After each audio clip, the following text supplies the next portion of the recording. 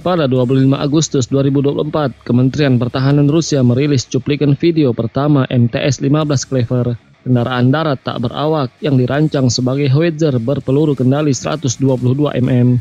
Rekaman ini menandai demonstrasi publik pertama MTS-15 Clever yang dijadwalkan untuk digunakan di Ukraina untuk pengujian skala penuh dalam kondisi pertempuran. Pengerahan ini diperkirakan akan segera dilakukan, sehingga memberikan kesempatan untuk mengevaluasi kemampuan sistem ini dalam kondisi pertempuran di dunia nyata. Salah satu fitur utama MTS-15 Clever adalah pemuat otomatisnya yang mampu menembakkan empat tembakan secara berurutan, sehingga memungkinkan sistem ini bertransisi ke dan dari posisi tempur dalam waktu kurang lebih 30 detik. Howitzer D30, komponen utama MTS-15 Clever, memiliki sejarah panjang. Dikembangkan pada akhir tahun 1950-an untuk menggantikan Howitzer M30 yang lebih tua. D30 mulai digunakan pada awal 1960-an.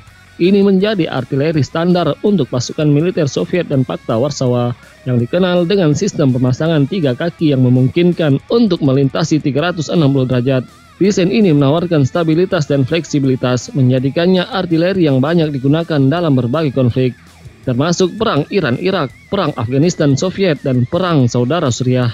Keandalan operasional dan kemampuan beradaptasi B-30 terhadap lingkungan dan platform tempur yang beragam telah berkontribusi pada penggunaannya yang terus berlanjut oleh banyak negara saat ini seperti Ethiopia, MTS-15 Clever dibangun berdasarkan warisan D30 dengan mengintegrasikan teknologi modern dengan platform artileri yang sudah terbukti. Sistem tanpa awak ini dapat dikendalikan dari jarak yang jauh hingga 500 meter, sehingga memungkinkan pengoperasian di lingkungan yang berpotensi berbahaya.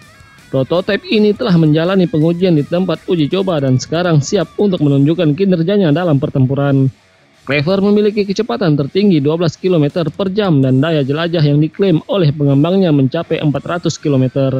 Meskipun sumber lain mengatakan bahwa jarak tempuhnya bisa lebih dekat ke 120 km. Salah satu fitur utama MTS-15 Clever adalah pemuat otomatisnya yang mampu menembakkan empat tembakan secara berurutan. Otomatisasi ini memungkinkan sistem untuk bertransisi ke dan dari posisi tempur dalam waktu sekitar 30 detik. Terlepas dari fitur-fitur otonom ini, campur tangan manusia tetap diperlukan untuk melakukan penyesuaian setelah setiap tembakan untuk mempertahankan akurasi dalam berbagai skenario pertempuran.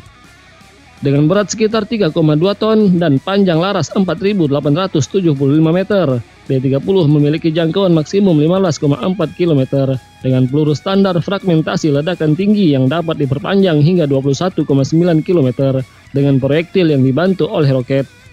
Dalam prakteknya, MTS-15 Clever bergerak ke posisi menembak di bawah kendali jarak jauh, dengan kru memposisikan senjata dan kemudian berlindung. Sistem kemudian melepaskan tembakan dan penyesuaian yang diperlukan dapat dilakukan dari jarak jauh. Setelah amunisi habis, robot secara otonom bergerak untuk mengisi ulang. Dengan kru mengikuti dengan ATV atau kendaraan, operasi semi-otonom ini menggabungkan teknologi tanpa awak dengan pengawasan manusia untuk mencapai tujuan strategis.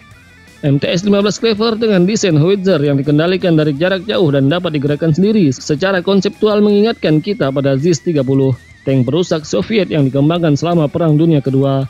ZIS-30 adalah solusi improvisasi yang memasang senapan anti-tank 57 mm pada sasis traktor artileri Komsomolets yang merupakan upaya awal militer Soviet untuk menciptakan artileri bergerak yang dapat digerakkan sendiri.